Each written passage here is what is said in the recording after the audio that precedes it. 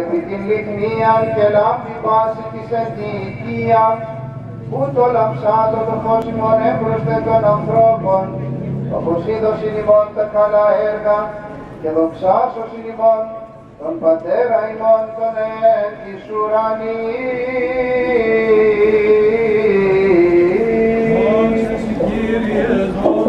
Χριστόν διακονίας, παντός του Κύρου και του λαού του Κυρίου δεηθόμεν.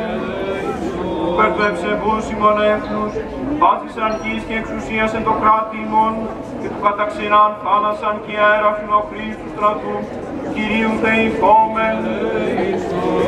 Υπέρ του Αγίας Δίνε το ηγορκού του, Μήπως είμαστε έτοιμοι, μπορούμε να αντιμετωπίσουμε ε, το 99% των προβλημάτων.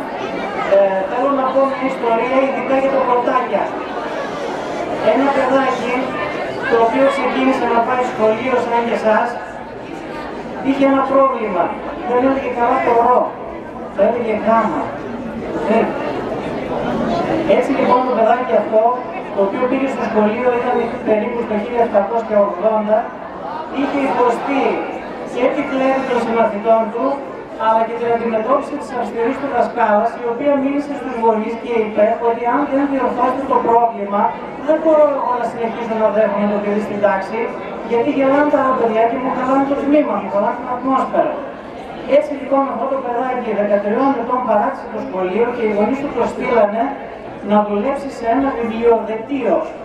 Εκεί δεν έχασε την ευκαιρία και πριν ετοιμάσει τα βιβλία, πριν τα δέσει, καθόταν και τα διάβαζε. Απέκτησε λοιπόν τόσες γνώσεις, έγινε τόσο σοφός και έχει μείνει στην ιστορία σαν ένας από τους μεγαλύτερους φυσικούς όλων των εποχών. Το όνομά του είναι Michael Faraday και έχει γίνει γνωστός επίσης για τις διαλέξεις που έδινε όταν μεγάλωσε παρά το πρόβλημά του. Έτσι λοιπόν το μήνυμα σε εσάς τα πρωτάκια είναι μην φοβάστε τίποτα, απλώς και μόνο να καταλάβετε τη θέση σας. Σας ευχόμαστε καλή χρονιά και είμαστε πάντα δίπλα σας.